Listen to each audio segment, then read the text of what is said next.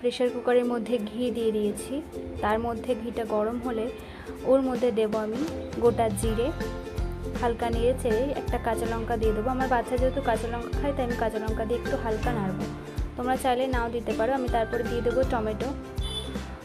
টমেটোটা হালকা নাড়াচাড়া করে আমি এখানে নুনটা দেখাতে ভুলে গিয়েছিলাম, কিন্তু নুনটা আমি সঙ্গে সঙ্গে দিয়েছিলাম যাতে টমেটোটা তাড়াতাড়ি গলে যায়। তারপরে দিয়ে দেবো আমি আদা কুচি। আমি আদা গ্রেট করে নিয়েছি, সেই আদা গ্রেট করাটাই আমি এর মধ্যে দিয়ে দেবো। আদা আগে দেবে না, আদা আগে দিলে কিন্তু পুড়ে যাবে, বাজে গন্ধ ছাড়বে। সেজন্য টমেটোটা দেওয়ার পর আদা দেবে। এবার ভালো করে নাড়াচাড়া করার পর আমি এর মধ্যে দিয়ে দেবো সয়াবিন। আমি সয়াবিনটা আগে থেকে সিদ্ধ করে রেখেছি।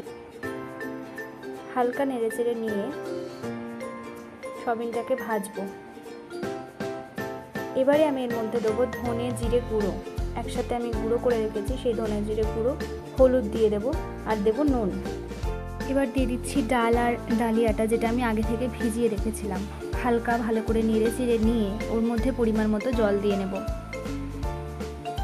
জল দেওয়ার পর হালকা নেড়ে চেড়ে নিয়ে আমি কিন্তু এটা ঢাকা দিয়ে দেবো। এটা তিন চারটে সিটিতে ভালো মতো সিদ্ধ হয়ে যায়। তিন চারটে সিটি হলে নামিয়ে নেব। ব্যাস, তৈরি হয়ে গেছে পুষ্টিকর ডালিয়ার রেসিপি তোমরা অবশ্যই বাড়িতে বাচ্চাদের জন্য বানিও। আজকের মতো এটুকু। আবার আসব নতুন একটা রেসিপি নিয়ে। ততক্ষণের জন্য তোমরা ভালো থেকো, সুস্থ থেকো। Happy painting journey